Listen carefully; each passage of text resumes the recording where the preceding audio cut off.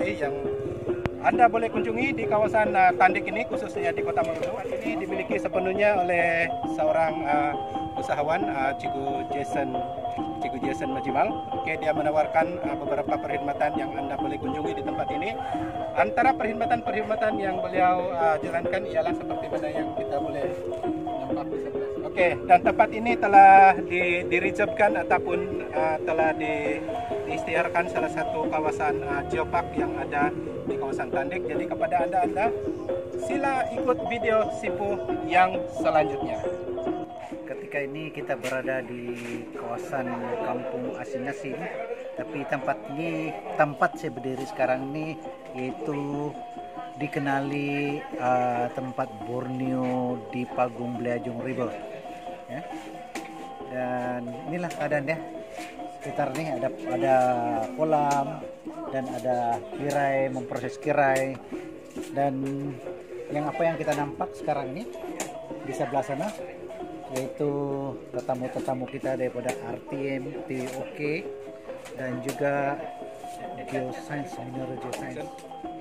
Di antara aktiviti-aktiviti yang ada di, di Pagung yaitu aktiviti memancing eh, cara sederhana yang berhobi dengan uh, memancing itu kita boleh ke klip-klip di kola asin asin ya.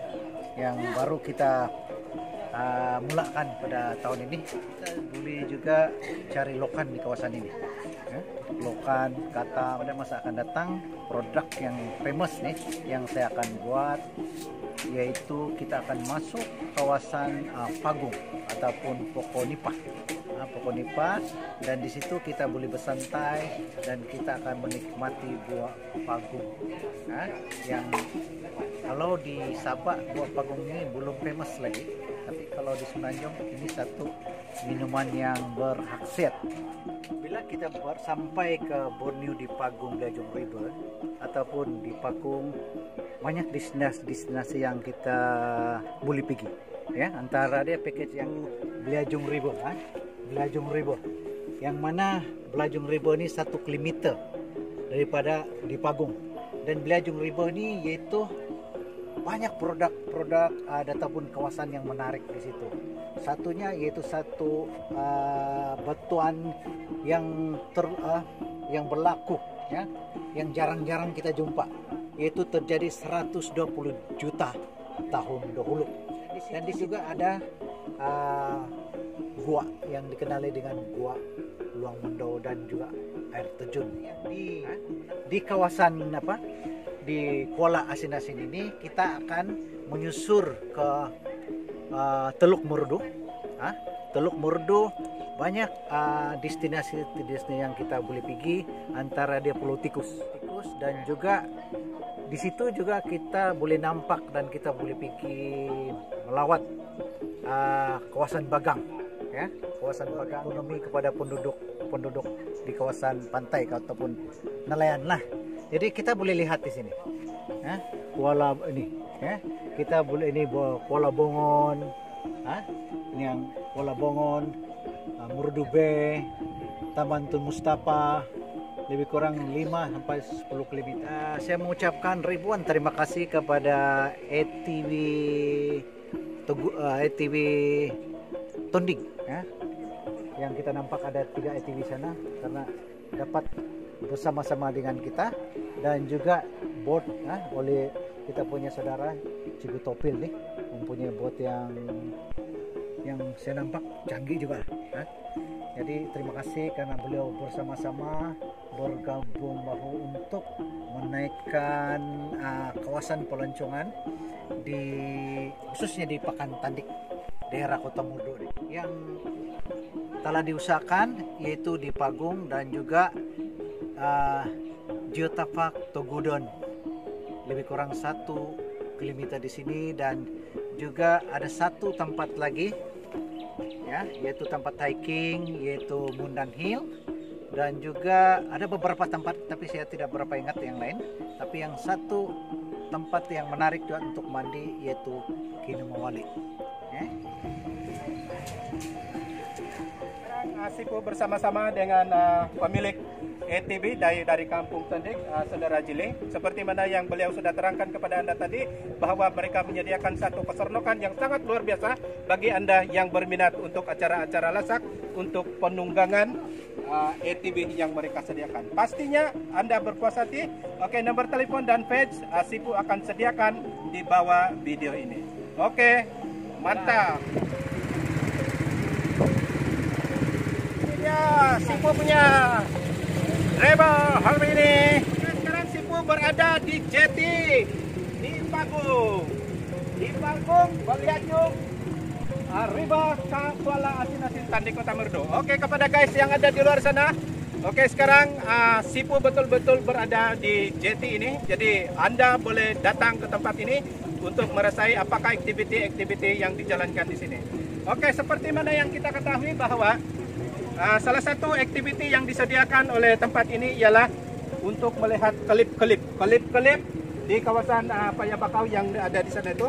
Kalau bagaimanapun kelip-kelip itu hanya kita boleh nampak apabila berada pada waktu malam. Oke, Anda yang berada di sana, Anda tidak rugi kalau datang ke tempat ini.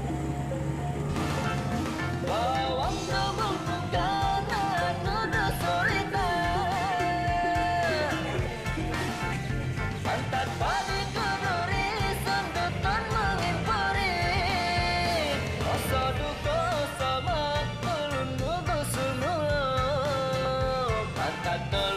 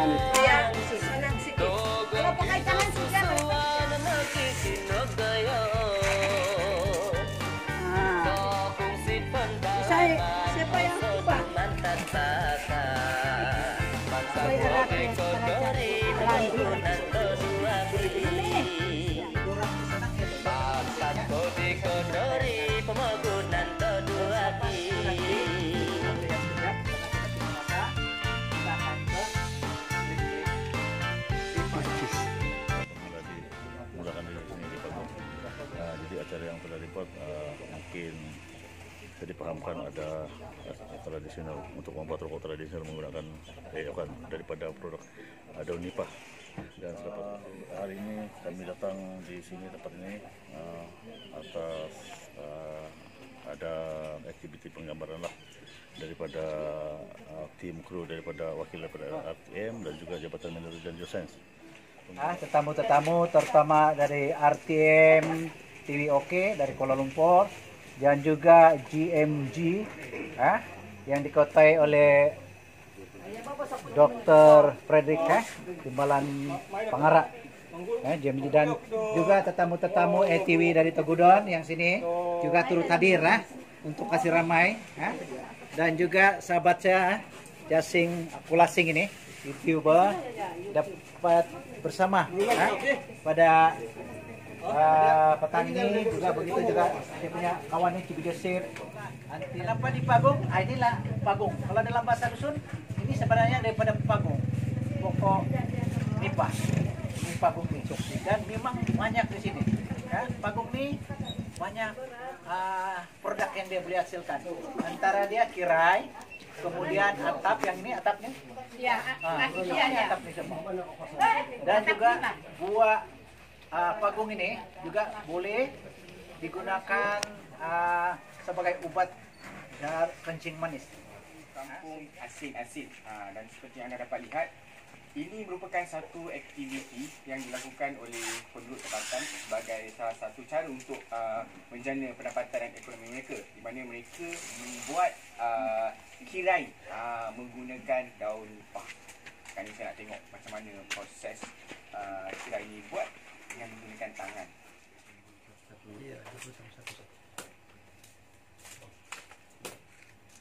Macam satu ni berapa boleh buat berapa banyak? tidak pernah kira Tidak pernah kira. Tidak terkira. ah, tidak terkira lah habis dia ini di mana proses motong sekarang ni adalah proses yang kedua. Kalau ikut bahasa tempatan dipanggil manganik, Mengalit terpusuk. manganik terpusuk. Ha, jangan marah pak. Ikut saya. Tidak. Daun kering. Okey, lepas daun dah daun tak dah kering lagi. Daun yang dah kering, ha, lepas tu kita ke proses yang seterusnya iaitu proses memotong. Memotong. Alat ni dipanggil apa kak namanya? Ah, Pemutong kirai. Jingkak. Nah, tingkah. Jadi ini buang dulu. Lepas dia keras. Nah, itu buang juga. Nah, inilah baru ini dipakai. Ini diikat dulu. Supaya dia rata. Suka makcik. Iya, Suka. suka bergurau. Ya. Hmm. Kan? Ikat lagi. Oh, ikat lagi. Ah. Oh. Kalau- Saiz dia tak tentulah. Ikut. ikut. Enggak ikut ukuran. Ini ikut ukuran ini. Kalau orang minta 5 inci, 5 lah. Kalau 4, 4 lah. Kalau dijual. Oke guys, di belakang Sipu sekarang ini adalah wakil daripada RTM yang sedang membuat uh, tamu ramah untuk pengusaha-pengusaha membuat kirai yang ada di kampung asin-asin ini. Uh, sekarang ini uh, pembuat-pembuat kirai di sana bersama dengan uh, artis jemputan yaitu uh, Firdaus. Uh, dia sedang belajar bagaimana untuk proses membuat kirai. Iaitu proses menggulung. Proses menggulung? Ini tembakau.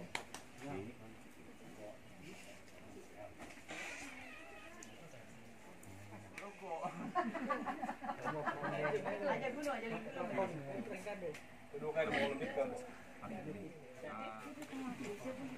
kasih. Kalau dari buka itu pahit. Ini lagi. Ikutin pun daun dia ini. Usung original. Original. Iya, dia ada campuran apa-apa. Kita akan melakukan sekali lagi aktiviti ATV dan kali ini saya bersama dengan Encik Jili. Apa khabar? baik. Sebelum kita buat aktiviti ATV ni Jili, kenalkan dulu diri dengan uh, Sudah berapa lama sebenarnya uh, beroperasi syarikat ni? Januari tahun 60 Syarikat ni mengoperasikan aktiviti ATV. oh kita kita lalu kawasan-kawasan kampung jalan biasa untuk